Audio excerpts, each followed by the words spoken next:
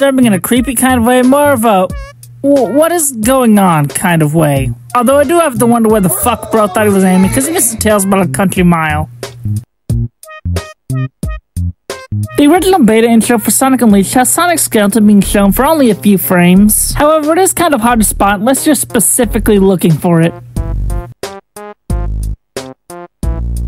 8 Rhea Island. The Rhea Island monologue shows up if you're idle for 10 minutes. We just have a confused and very unnerved Sonic, which is something we don't really see from him too often. And Roger Craig Smith puts his fucking all into these lines. It's amazing. Now that all the honorable mentions are out of the way, we can get started. Starting with. That's impossible. Shadow! Run! We'll hold things here. I don't run. That's not what I mean.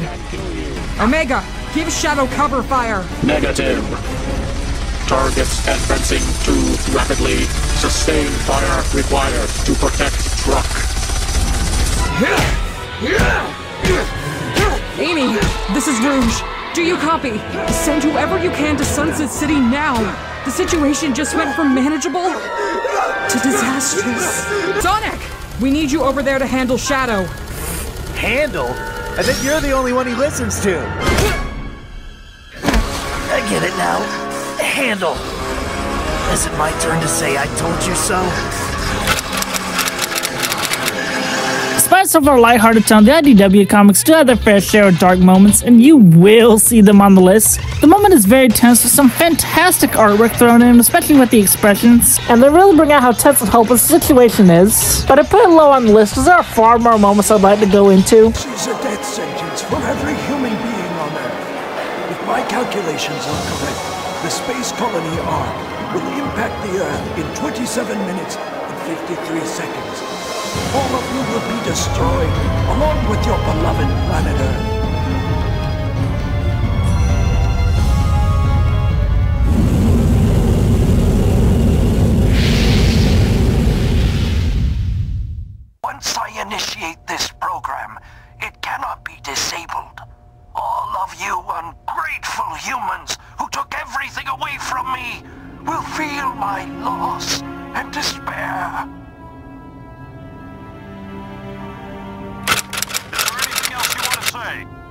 No. Gerald has got to be the most overall tragic character in the Sonic series. For losing all the scientists he cared about on the ARK, from losing his funding, losing his home and his research on top of Maria. Overall, Gun fucked this man over, and by God, he wanted to prove that.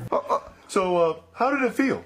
How did what feel? When you fucked me. His final message is bone chilling with the chilling voice lines. If you listen and look closely, you'll actually see that the message repeats itself. And for all of them on the ARK scene, this is their final moment, so this is the last thing they were hearing. And other interpretations of the scene don't make things better, like in Dark Beginnings episode 1, where we see Gerald in a creepy dark room with a light swinging above his head. And even Maria gets it a lot worse, so we actually see how the impact killed her. Or even in Sonic X, you actually get to see and know Maria's killer, and he actually feels genuine remorse for it. And overall, Maria and Jill get it so dirty, I feel bad for both of them equally. And that is what I would say if smoking on that Maria pack, let's go, baby! Oh, pinecone dick.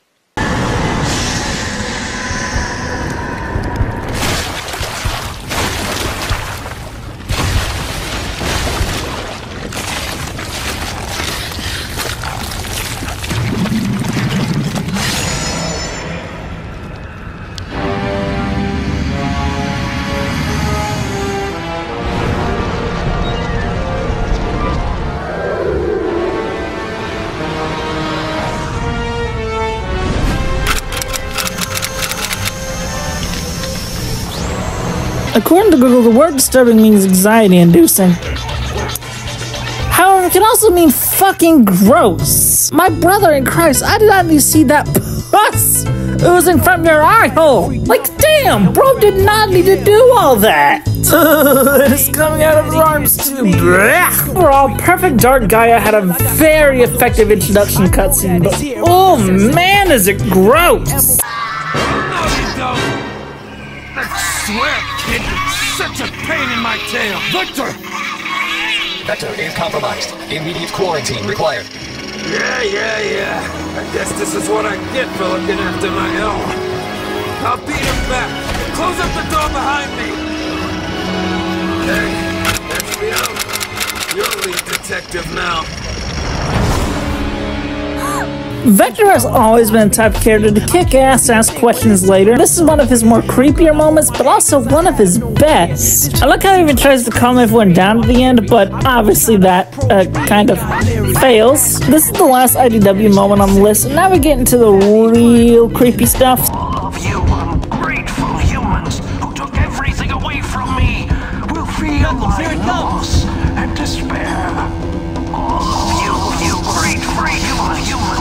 everything away from me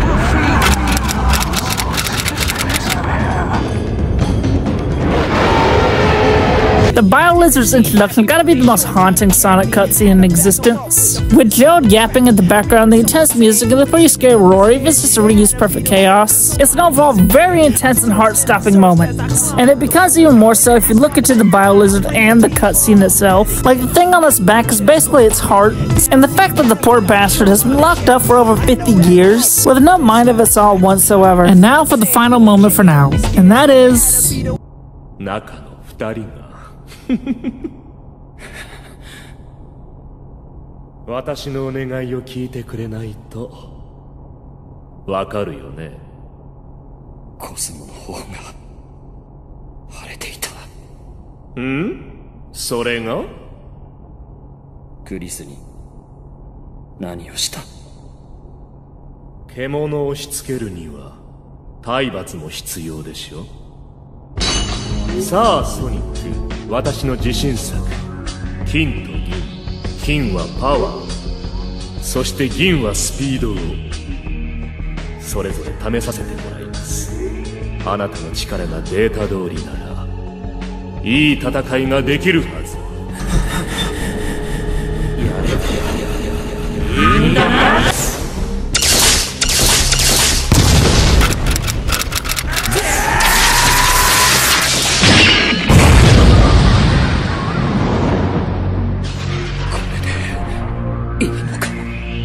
heavily agreed on that Dark Sonic is fucking awesome. What I don't see too often is just how creepy this moment is. With Dark Oak really not caring what happens to Chris and or Cosmo, or the robots he sent out to fight Sonic. Considering he knew something would happen with the fake emeralds, he basically threw them into the line of fire. What makes the moment even more disturbing is that Sonic is nearly silent with his voice barely going over a whisper. I fully believe if Eggman didn't show up, he would have absolutely ended the arc right then and there. like supper eyes. Real blood corner man hiding in the trash can. Something's waiting for the house and hell. Your scream is his Halloween running and striking me. Aren't you scared? Well, that's just fine. And the dark city, just take a chance on one right. Ride with the moon in the dead of night.